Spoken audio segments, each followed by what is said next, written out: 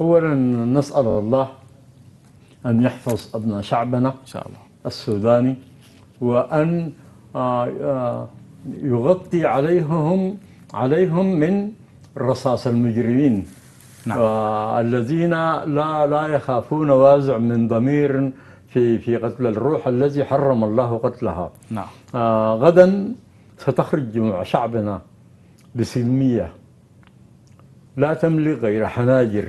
تهتف بشعارات إنهاء الانقلاب تطالب ببناء دولة مدنية عبر استكمال مسيرة التحول الديمقراطي السلمي. هذه هي مطالبهم. لا يطلبون مصارعة سلطة لا يطلبون غير أن يكون هذا السودان آمنا مستقرا. خطه البياني صاعد بالأمام باتجاه التنمية والتطور.